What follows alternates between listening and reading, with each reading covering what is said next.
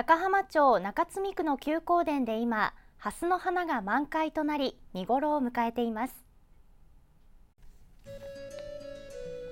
蓮の花は中寄区の有志で作るゆりの里クラブが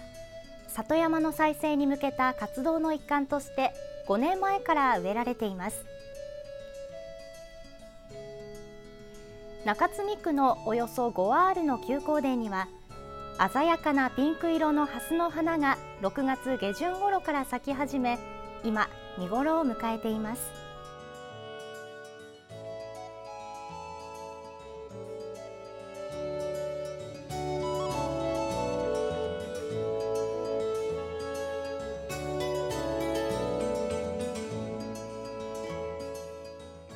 ようやくつぼみから花へというふうなことでまあ、非常にあの元気に出てくれてるもんですからぜひともこう癒しの里山づくりということで私どもも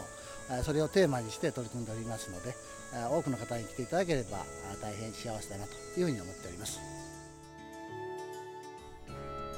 ゆりの里クラブでは休耕田を生かしたビオトープや水車の整備などを行っていて里山の再生に向け今後も活動していきたいと話しています。